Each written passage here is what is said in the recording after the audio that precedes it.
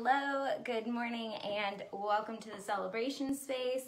My name is Kaylee Phelps, and today we are talking about my secret to a tidy linen closet. I This is kind of a secret that I use across my home, so I'm going to show you a couple of different examples. And linen closets are very exciting. So I'm in my guest bathroom right now. I do have a second linen closet on the master side, but if you've watched my video on organizing pet supplies or games, all fun and games, that is what we use that section for. And over here, we really use um, most of this closet for most of our linen. So I do have a towel rack in the other bathroom as well for extra towels that we use over there. And uh, yeah, so we'll dive into it. This will be pretty short and sweet. So we'll open up this closet. Ooh. And you can see this is my linen closet.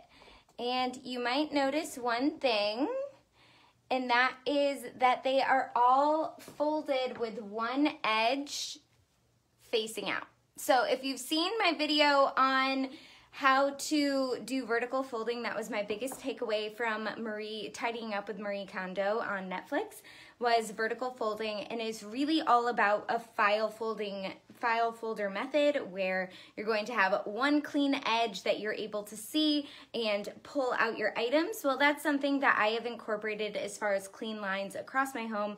And one of the places I think this is especially important is in a linen closet while it's not vertically stacked, it is going to help you to be able to grab one item and make it easier to pull out in one place. So just a little bit of the lay of the land here at the bottom. We have some gadgets down here. Then we have some uh, beach towels, pool towels, and just kind of utility towels.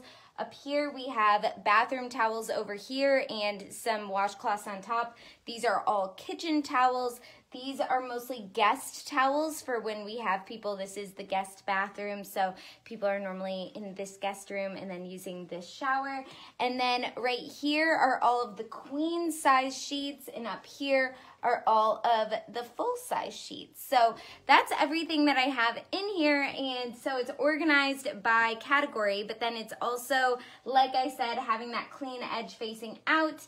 I can show you an example of what it kind of looks like the opposite direction. And I mean, this is totally, this is just like, this is basically what, what you make of it. But yeah, it just, things flop around a little bit more when you're grabbing something it might fall. Um, I do keep all of my seasonal um, kitchen towels on top so that's why we have a little ghosty here. Um, so it's not like catastrophic. I mean this is much more of an aesthetic choice um, and it might just help so that when you're pulling things out it doesn't get as messy. Here I'll flip this just to show you what that looks like too. Oh Lots of towels, lots of towels.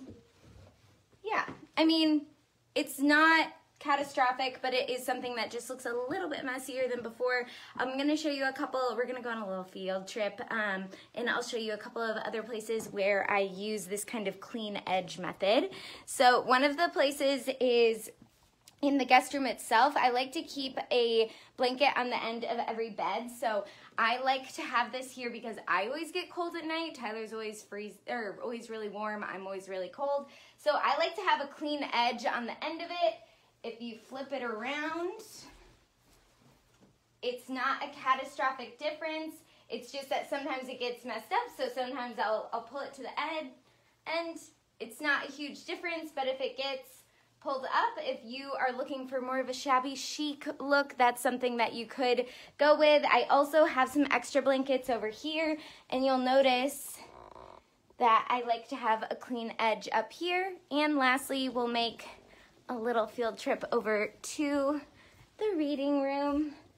And I do the same with this blanket in particular. So it's a clean edge going across here, but it could be this side, this has a jagged edge on here, so that's why I do that. It's really just an aesthetic preference. It's something that's gonna be make things look a little bit cleaner, but It's just something that I find is really helpful with towels and sheets and things so that it doesn't grab other things or it doesn't come unraveled while I'm trying to pull it out. And everywhere else, it's just an aesthetic preference. So I hope that this might be a little bit helpful just for your linens and how you might want to fold things. And also, of course, with all linen closets, all things, just categorizing things and trying to get them to be about the same size and putting like you know, bigger items on the bottom and smaller items on top will help things from toppling or getting messed up. But that's all I have for you today. Just a reminder that I will not be here tomorrow. I am about to, I actually have my shoes on in the house. I rarely, you'll rarely see me doing a live with shoes on, but I am about to jet out to my car, hop in the car and drive down to Florida to celebrate um, my mom's birthday with her, just a quick 24 hours, and I will be back live on Thursday. So until Thursday, enjoy celebrating this week.